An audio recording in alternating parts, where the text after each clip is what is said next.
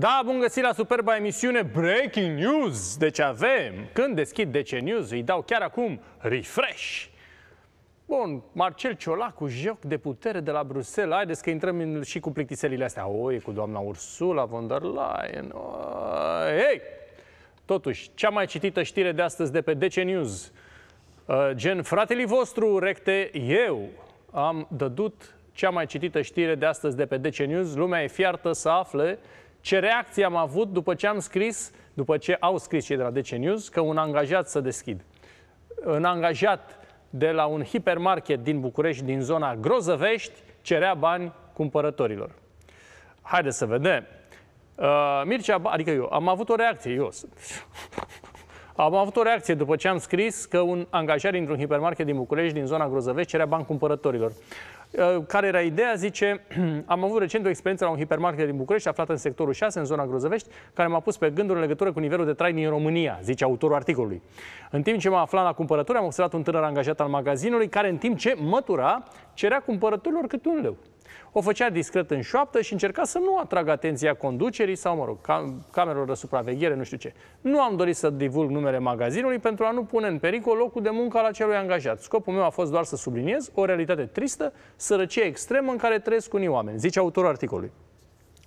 Așa, și a cerut un punct de vedere și reprezentanților magazinului, care în loc să răspundă la întrebări, i-au cerut datele de identificare ale lui. Ok, ale omului. Și zice autorul articolului, Mircea Badea nu e de acord, absolut nu.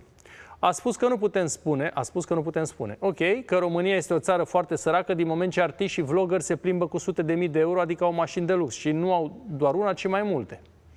El a reacționat, adică eu. Am reacționat la acest caz pe care l-am prezentat și a adus un alt punct de vedere. El a susținut că nu putem trage concluzia că România e o țară săracă atâta timp cât vedem artiști și vloggeri care își permit mașini de lux. De exemplu, el i-a menționat pe Dani uraganul. În, în uh, accepțiunea modernă a cuvântului, a noțiunii, uh, ei sunt artiști. Așa, deci ce țancă uraganul? Artist, nu? Uh, fata altă care cântă manele, nu știu cum o cheamă. Nu știu, Teo Trandafir, nu, Teo Trandafir am mea. Teo Rose, care tot Teo Trandafir înseamnă. Așa, asta. Uh, Dani Mocanu, e manelist sau ce e? E manelist? Adică e, tic- e artist. E și, și TikToker dacă e și face, nu știu, dalea cu tip, tip, tap, tap, dalea, nu știu, face duș îmbrăcat sau ce face el, tot un artist, tot entertainer, cum să zic, nu? Entertainer. Așa. Uh, Shelly, ce e? vlogger, e, ba, e și artist, că nu cântă sau ceva de genul. În sfârșit. Așa. Și ăștia, cum, Dani Moca, nu l-am văzut eu, ți-am spus, am fost în aceeași parcare, eu puneam geamantanii din porbagaj și m-am însemnat că e un Lamborghini, practic gen lângă mine, galben, Urus, care e de vreo 500.000 de euro, ca să le înțelegem, că nu, da? Totuși. Și am văzut un domn așa îmbrăcat, cred că avea echipament de la de basket și scria LeBron James. Nu-i rău. Așa și...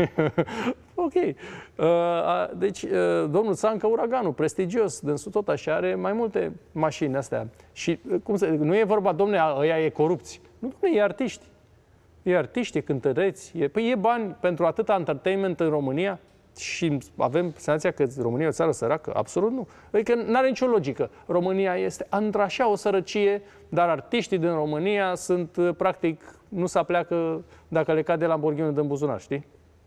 Așa, Shelly deține un Porsche și un Maybach. Iertați-mă, un Porsche din ăla ca lui Shelly, nu prea mă pricep așa, dar e peste 200 de mii sigur. Nici nu se pune problema, e peste 200 de mii sau acolo, în zona lui 200.000 sau mai mult.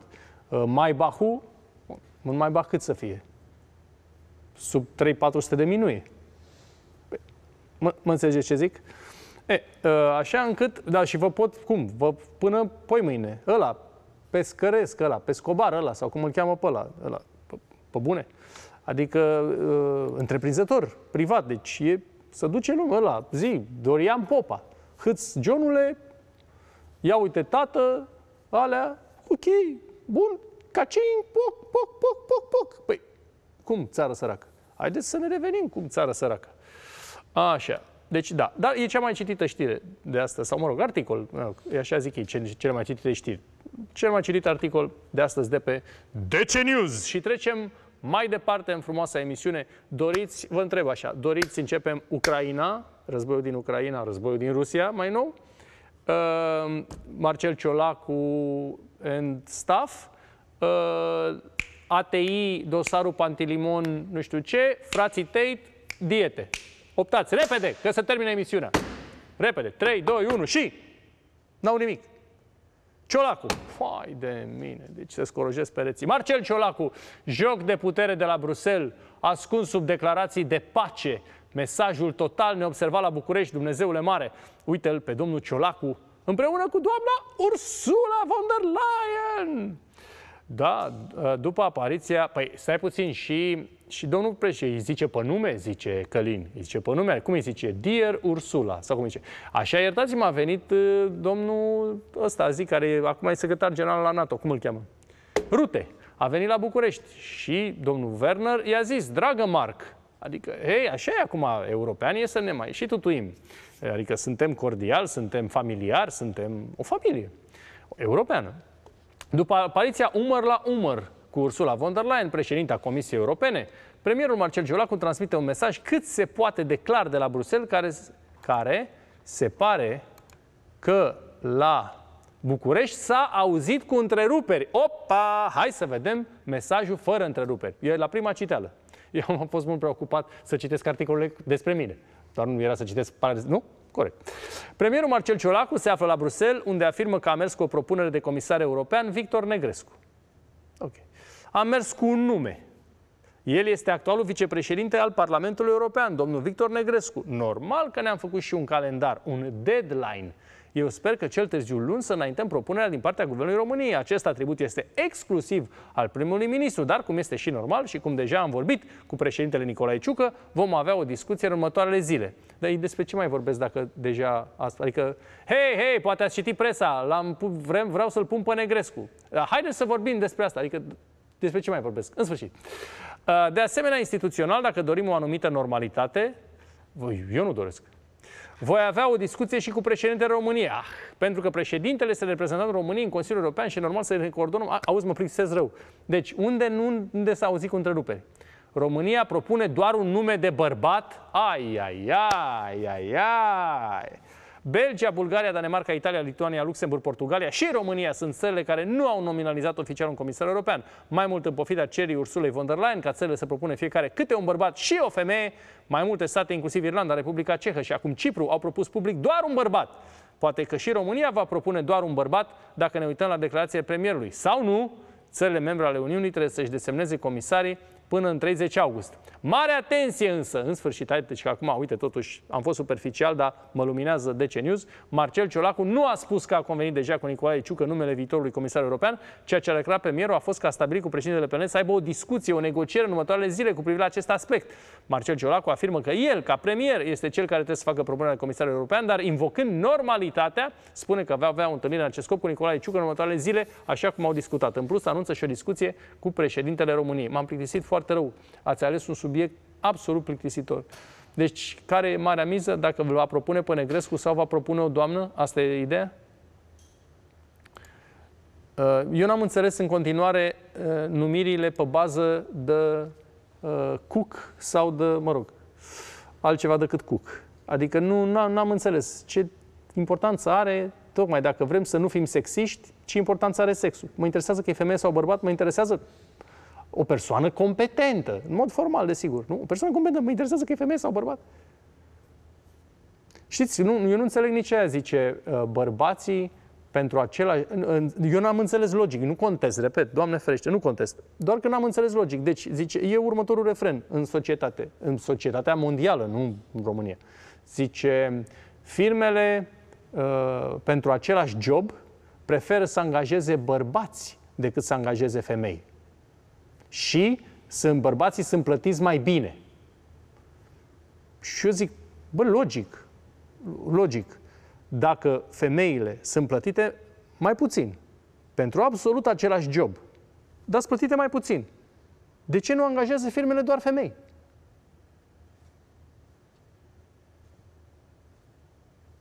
În sfârșit. Deci, nu că trebuie să fie femeie, bărbat, dar parcă ieșiserăm din grotă. Parcă acum sunt genuri, nu mai sunt sexe dacă angajează o femeie biologic, dar care se identifică nu ca fiind bărbat, de exemplu.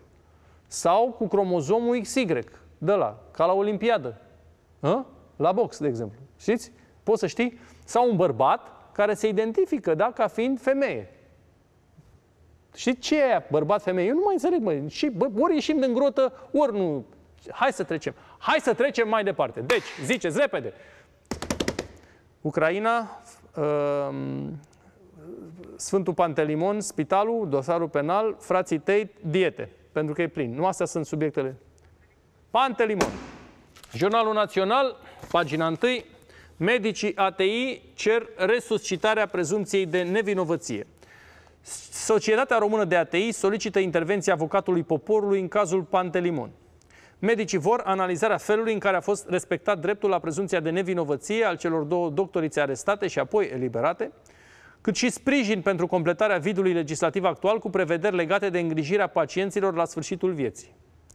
După ce au primit sprijin de la colegii români din Franța, medicii ATI sunt susținuți și cei din Statele Unite ale Americii. Eh, vezi situație. Vezi situație. Hai să intrăm un pic în detalii, mai fac un comentariu, după care o să vedeți un articol din DC News. Societatea Română uh, de Anestezie Terapie Intensivă, care printr-o scrisoare semnată de membrii Senatului Societății, uh, cer, cere această societate intervenția avocatului poporului, am, am zis asta. Zice, uh, Senatul Societății Române de ATI își exprimă îngrijorarea că acest caz anchetează care marchează, pardon, care marchează profund societatea românească și ridică legitime întrebări cu privire la respectarea drepturilor cetățenești. Dar hai să vedem asta cu... cu...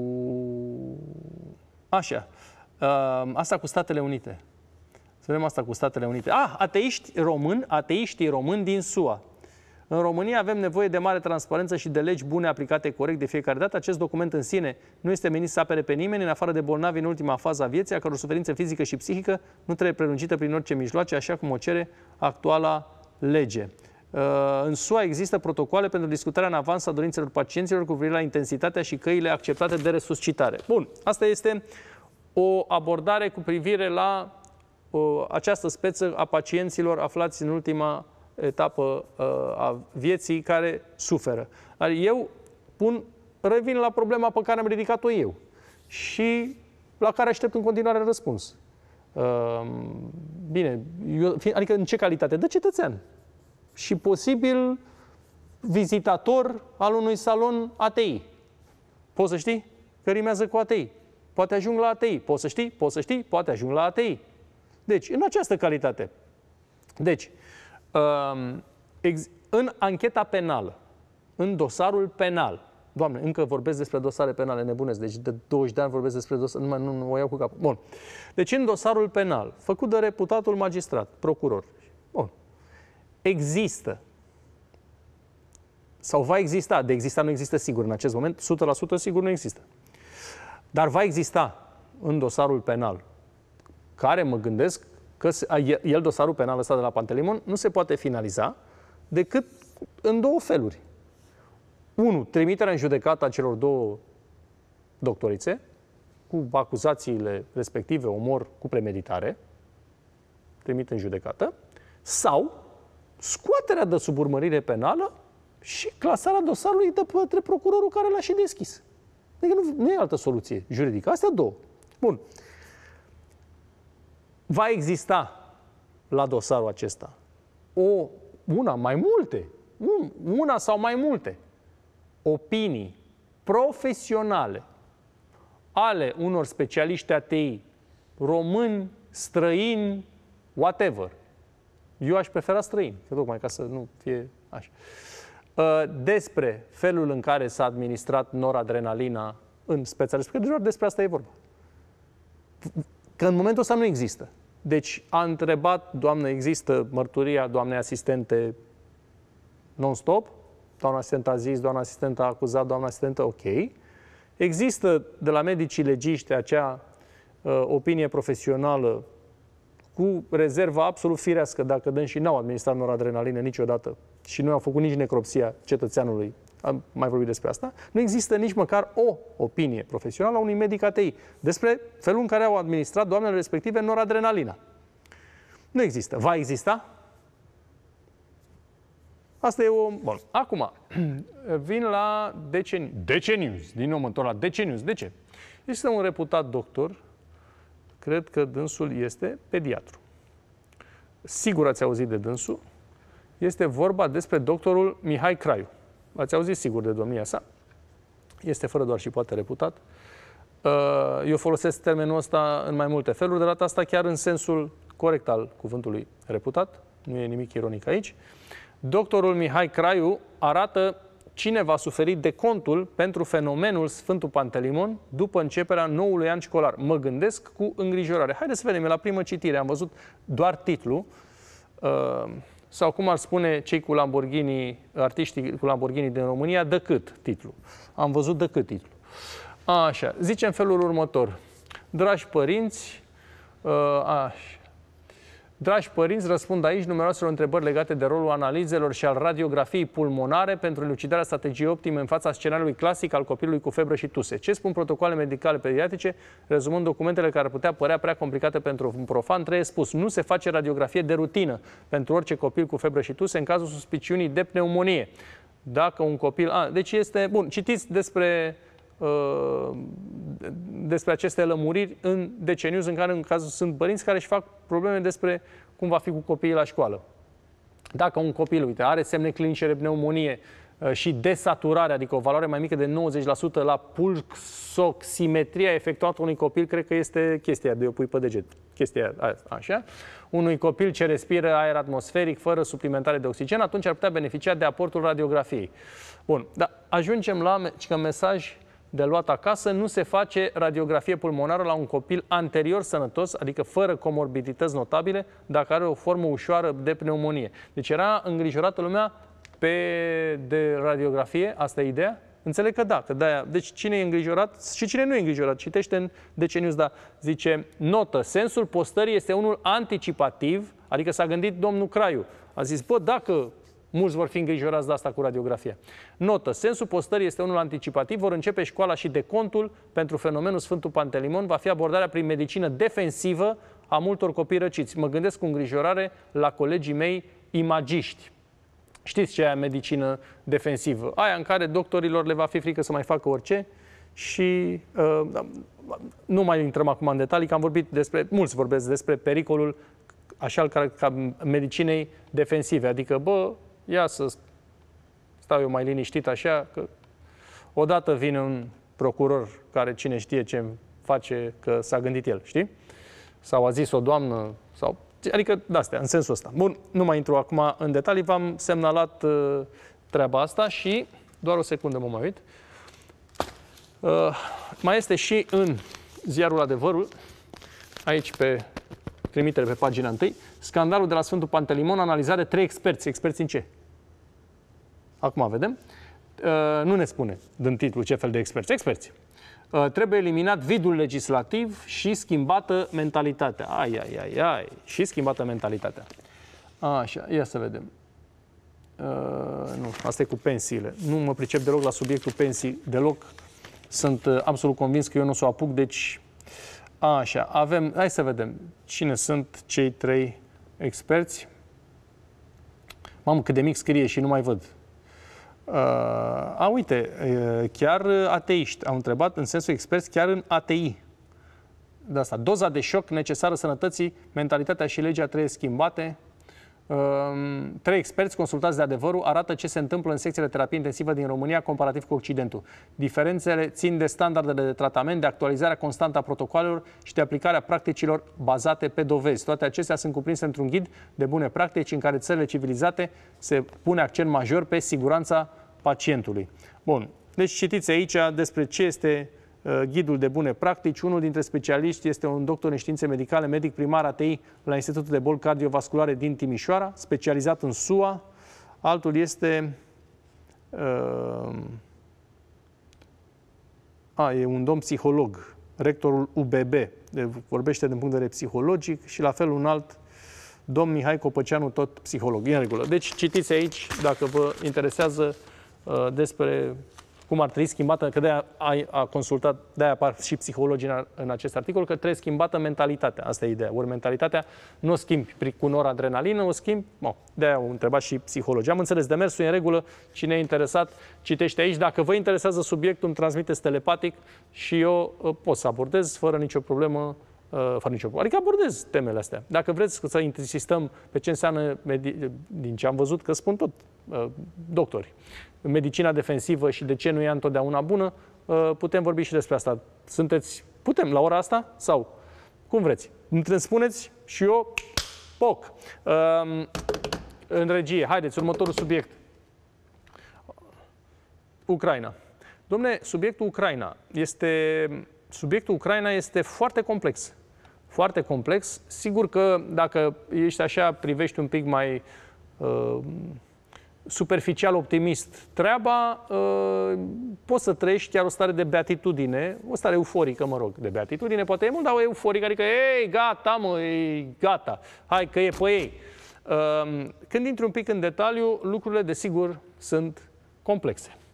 Uh, hai să începem tot de la, dacă tot citirăm din adevărul, pornim de la un articol din adevărul, Zice, România atacată cu știri false despre război. Ai, ai, ai. Dar de cine e atacată cu știri false despre război și unde apar ele știrile false? Uh, sper că pozitive, exact. România atacată cu știri false despre război. Vești alarmiste despre incidente produse în România pe fondul războiului din Ucraina sunt răspândite rapid în mediul online. Un expert a explicat pentru adevărul ce rol au și ce temeri pot produce românilor mai puțin instruiți. Dar cine este expertul? Iertați-mă ne vorbește de astfel canalul de Telegram Interslava Z, care promovează știri din zona de conflict ruso-ucraniană. Dar cine dracu citește asta, canalul de Telegram? Adică să citește în România canalul de Telegram? Voi citiți canalul de Telegram ăsta? Da, de două, trei ori pe zi.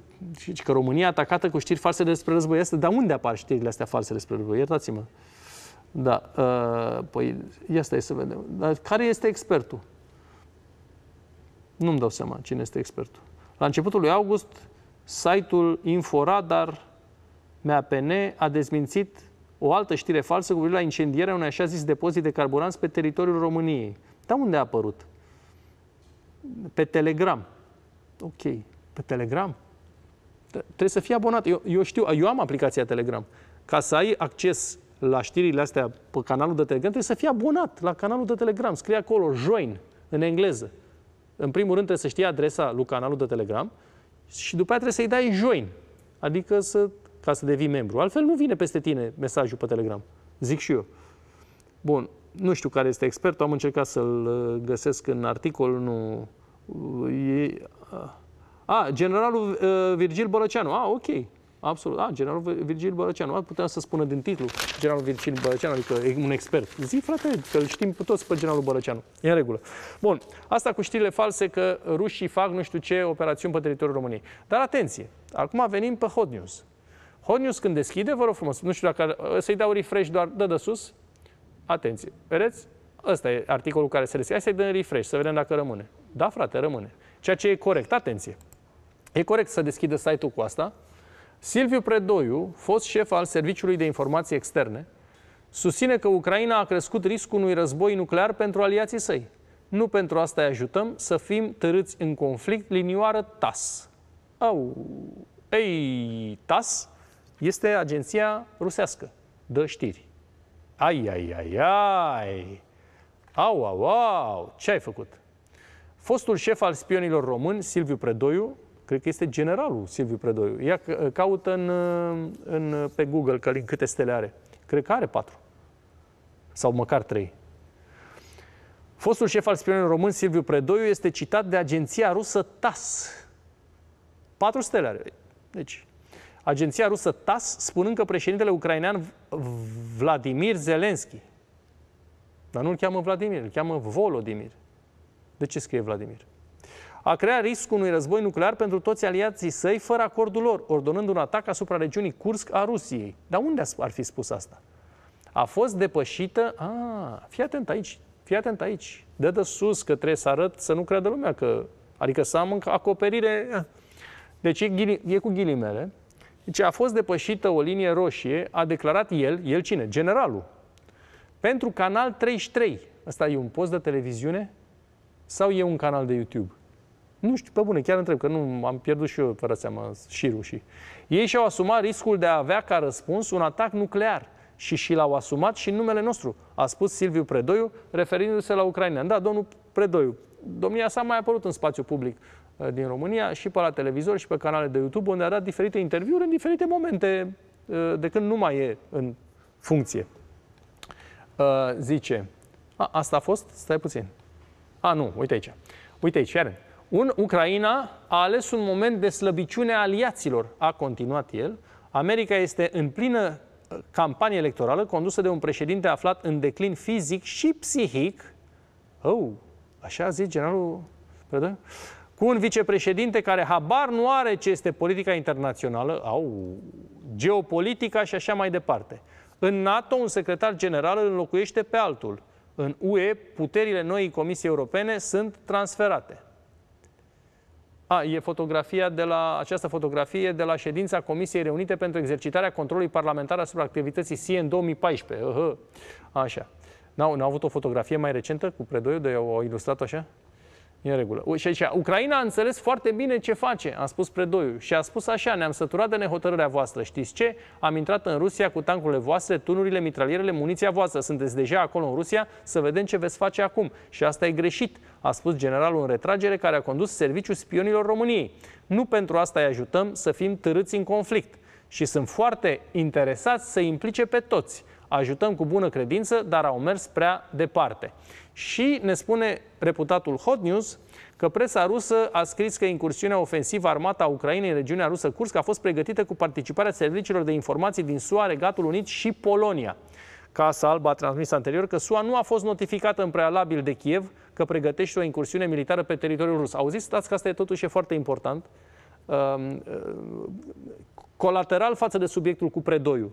Dar chiar și colateral față de subiect, mi se pare important și vreau să o lămurim. O lămurim. Vreau totuși să vă prezint treaba, că nu mai pot cu asta. Dă de sus, te rog.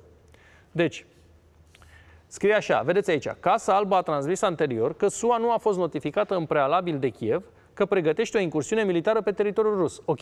Scrie? Hot News, da? Suntem pe Hot News. Atenție, că nu, nu mai pot cu, cu asta. Deci, Google. Atenție, că merită. Google. Hai, dar să vadă lumea ce caut pe Google. Hot News. Podoliac, uh, incursiune, Kursk. Hai să vedem.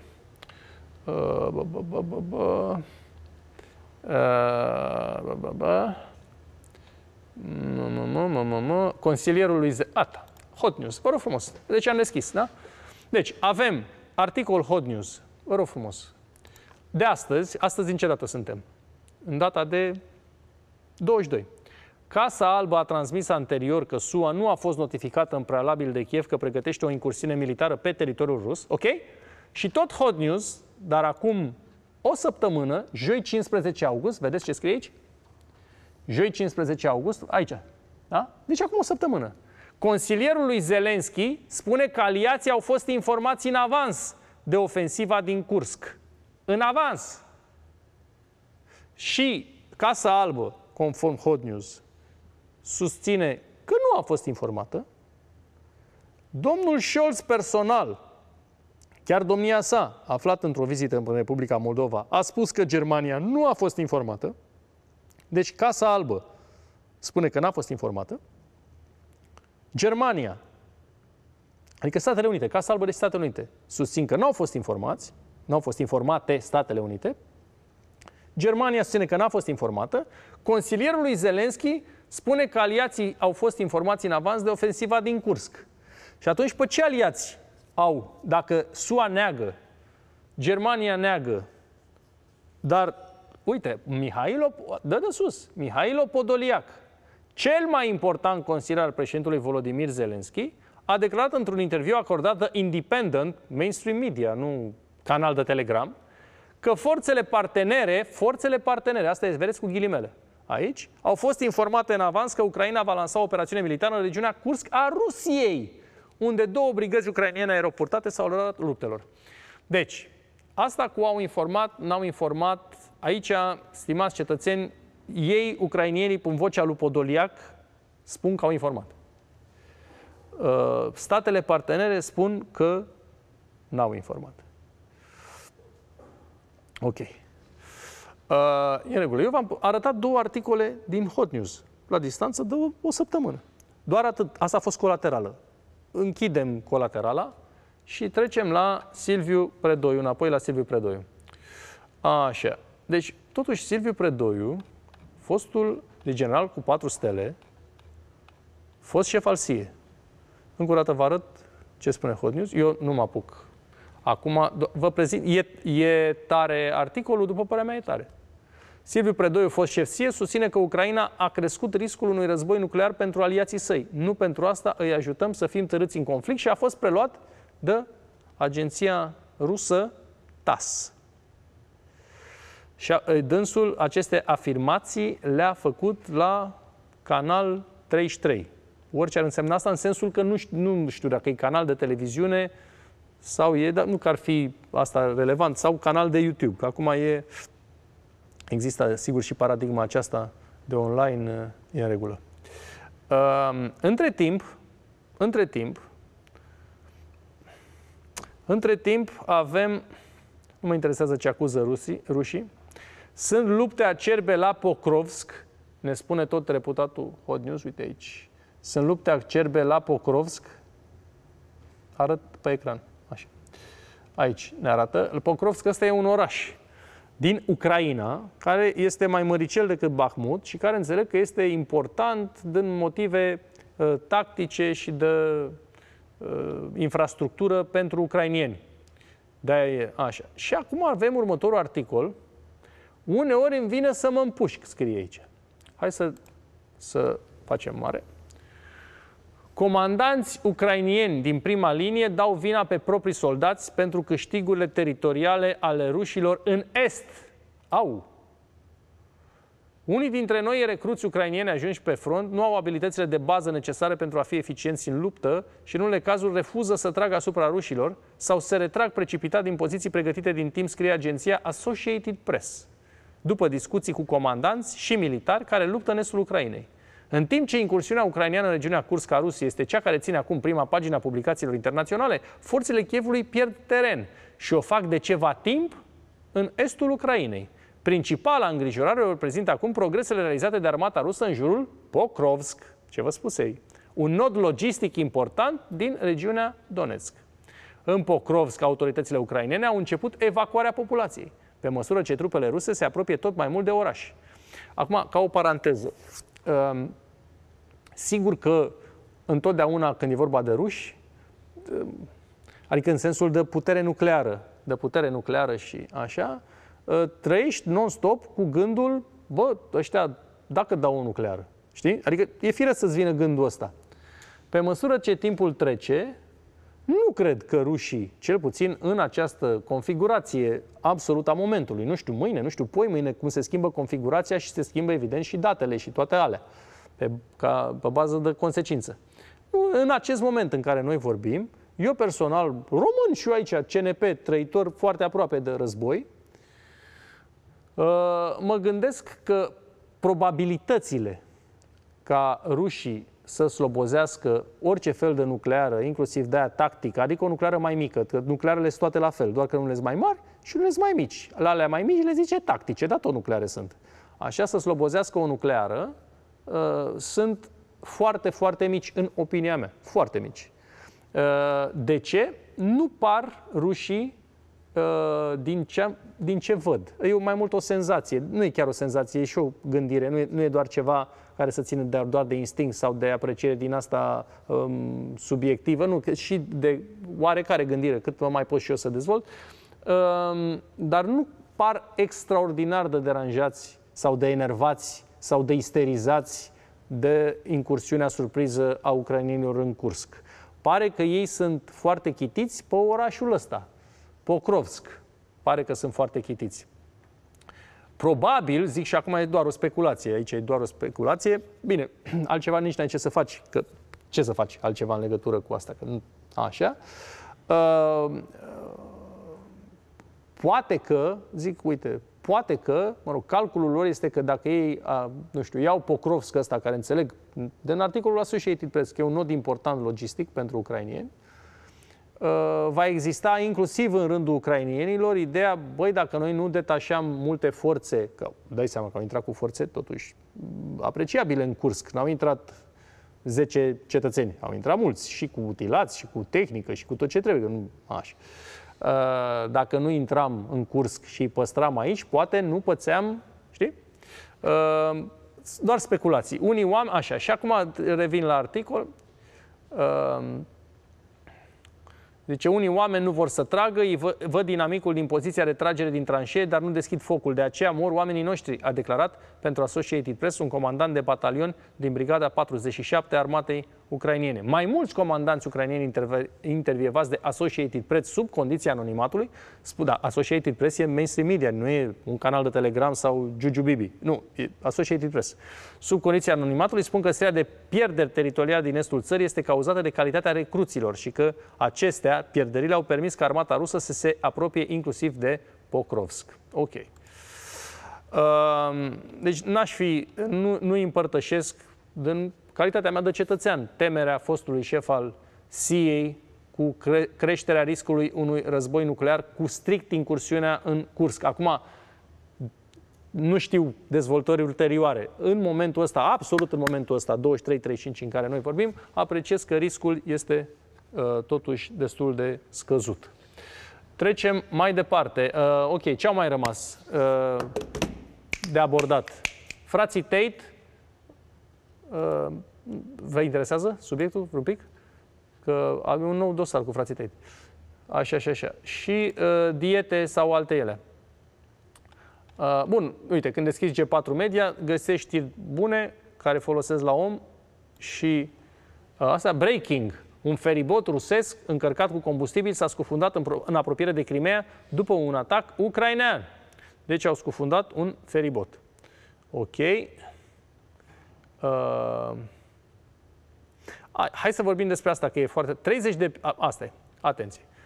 Am, am și vorbit despre știrea asta, am și vorbit despre știrea asta, care era de pe Hot News, dar am citit destul de Hot News, um, pe pasă, pe pasă cu Răzvan Dumitrescu și cu invitații domniei sale.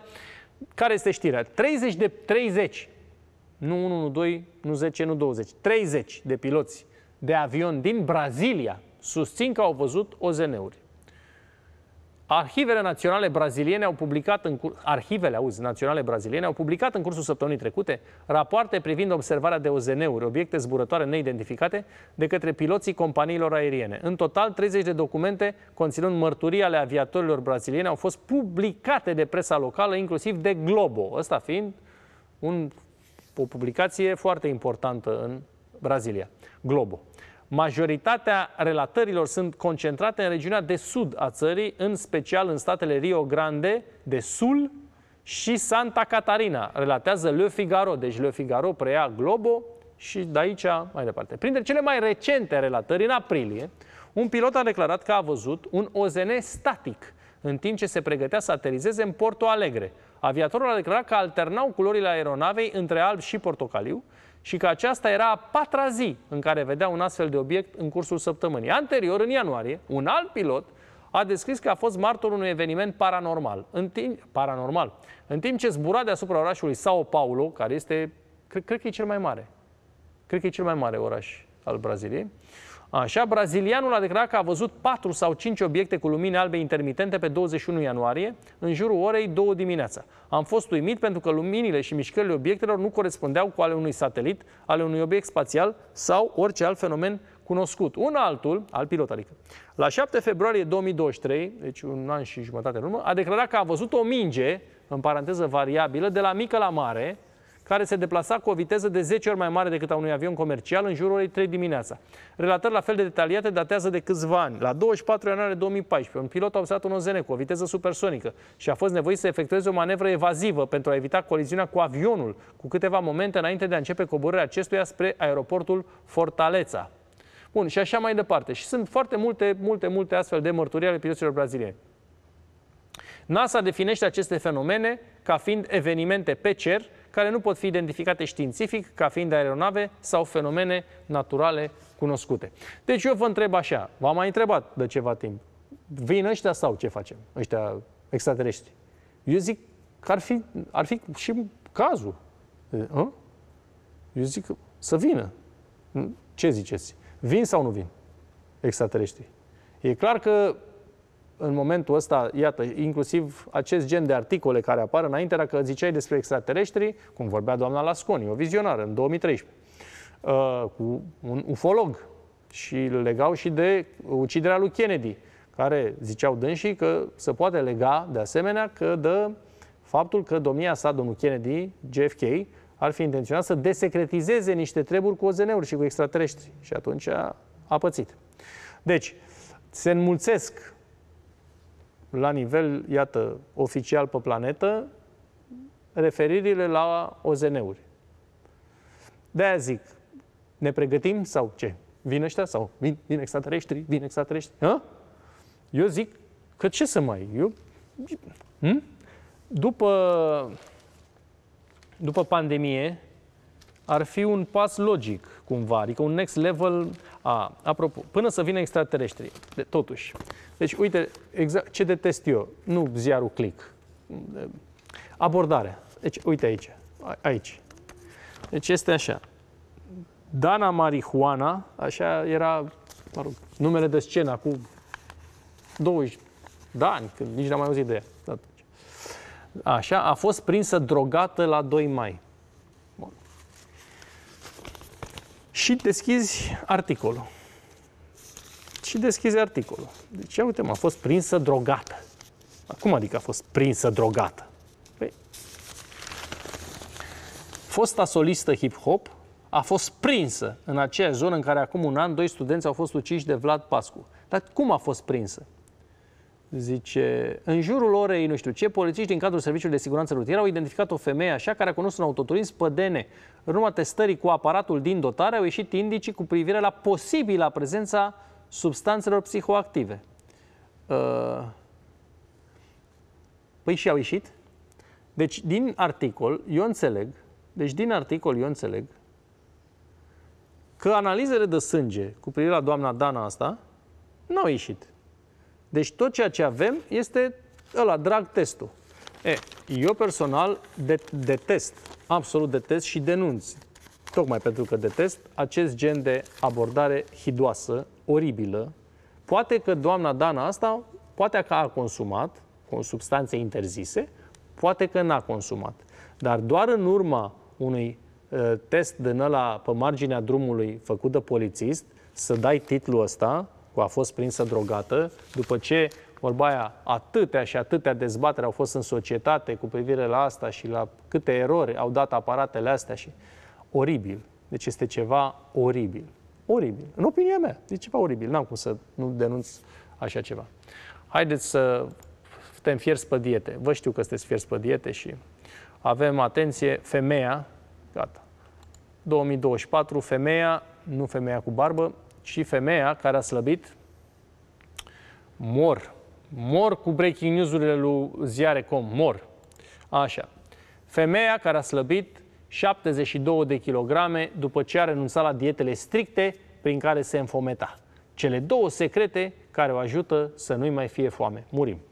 Maria Kircheland încerca să slăbească de mai bine de un deceniu dar întotdeauna sfârșea prin a se supra-solicita, a se înfrupta și a se îngrășa și mai mult. Adică nu mânca două zile, după care plonja mâncare și, deci, nu, nu dieta strictă o îngrășea, mâncarea o îngrășea. Adică, abia după ce femeia de 37 de ani din apropiere de Oslo, Norvegia, a învățat despre calorii, proteine și antrenamente de forță, cred, ce ai făcut, a început în sfârșit să slăbească durabil, cât de sustenabil, aș zice eu, Așa. Și care sunt secretele lui Pește, că nu mai avem timp? Două tactici. Uh, așa. Nu mai avem timp? Nu mai avem timp.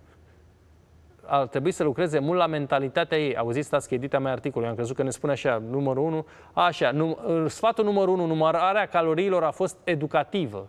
Ok? Ok. Sfatul numărul 2, proteinele și antrenamentul de forță. Ce ai făcut, Bobiță? Deci, avem și revista Longevity, uh, dă-mi articolul la care te-ai gândit, Călin, avem revista Longevity, hai, dă-mi articolul, tătuțule. A văzut lumea, așa. Te, ai, e bun, articolul e bun, îmi place, adică îmi place tema. Tehnologia, în special AI, adică inteligența artificială, ne-ar putea face mai fericiți? Statisticile arată în general că oamenii sunt îngrijorați. Sentimentul general de nefericire în societate atinge cote la care mulți nu credeam că se va ajunge, dat fiind că, faptul că trăim în cea mai bună perioadă a omenirii din toate timpurile. Absolut, asta e, asta e clar. În acest context, în societate, se face auzită o întrebare care să provoace dispute și chiar alarmează. Contribuie tehnologia și în special utilizarea inteligenței artificiale la crearea sentimentului de nefericire sau din potrivă contribuie la diminuarea sentimentului de nefericire sau chiar la amplificarea senzației de fericire? E, peste tot ne găsim neliberi și legați de tehnologie, fie că o afirmăm sau o negăm cu pasiune, dar suntem predați ei în cel mai rău mod posibil atunci când o considerăm ceva neutru. Pentru că această concepție despre tehnologie, care astăzi uh, o, o omagem, pe, pe care astăzi o omagem în mod deosebit, ne face cu totul orbi față de esența tehnologiei. Deci cred că a, anticipez că, mă rog, concluzia este că de multe ori tehnologia ne face nefericiți. Uh, eu am și ziare pe print. Deci nu depind numai de tehnologie să văd ce scriu reputații jurnaliști. Reputați. Am și ziare pe print. Ele îmi sunt aduse de Mampress. Vă susțin.